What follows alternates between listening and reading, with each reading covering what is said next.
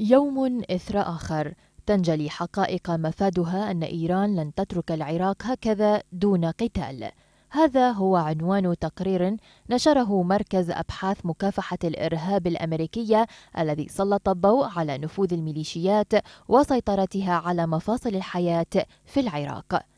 ميشيل نايتس الباحث في معهد واشنطن ومعد التقرير أكد أن مقتل سليماني والمهندس مرتكزا مشروع إيران وميليشياتها في العراق والاحتجاجات المندلعة منذ أشهر شكلا عقبة في طريق المزيد من توغل الميليشيات في المؤسسات العسكرية والاقتصادية والإدارية العراقية. التقرير سلط الضوء على بعض حيثيات النفوذ الإيراني في العراق ومنها أن سلطة سليماني والمهندس كانت فوق كل السلطات حتى أن أبو مهدي المهندس كان عام 2019 مركز نفوذ قوات فيلق القدس الإيراني في العراق. اقتصاديا وبحسب التقرير هيمنت الميليشيات على الشؤون التجارية في البلاد وجنت ارباحا مهولة حتى أنها قامت بتحويل مبالغ إلى حساباتها وحسابات الحرس الثوري الإيراني وحزب الله اللبناني.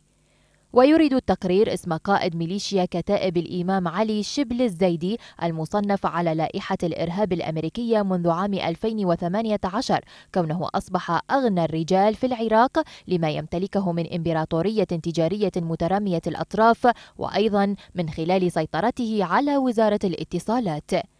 ميليشيا حزب الله اللبناني بحسب التقرير أيضا فازت بعدد من العقود التجارية في العراق مستغلة علاقتها الوثيقة بتلك الميليشيات.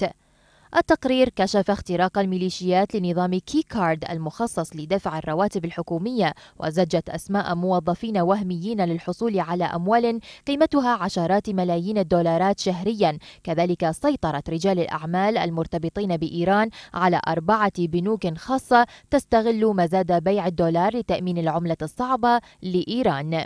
الميليشيات أيضا سيطرت على حقول نفطية صغيرة في مناطق علاس والجيارة ونجمة وقامت بالاستفادة من شركات نقل وإمداد وشحن تسيطر عليها ميليشيات في البصرة لتهريب النفط المسروق من هذه الحقول. وعملت بحسب التقرير على توفير الغطاء لتهريب النفط الإيراني الخاضع للعقوبات الأمريكية عبر منافذ حدودية منتشرة على طول الحدود مع العراق ومن ثم إعادة تعبئته وتصديره كنفط عراقي لكن الموارد المتحصلة عن ذلك كانت تذهب لإيران. ويختتم نايتس تقريره بعبارة أنه ليس لزاما أن تنحل الميليشيات نتيجة قتل مهندسيها لأنها لن تتخلى عن المستوى الذي بلغته من السلطة في العراق بدون قتال.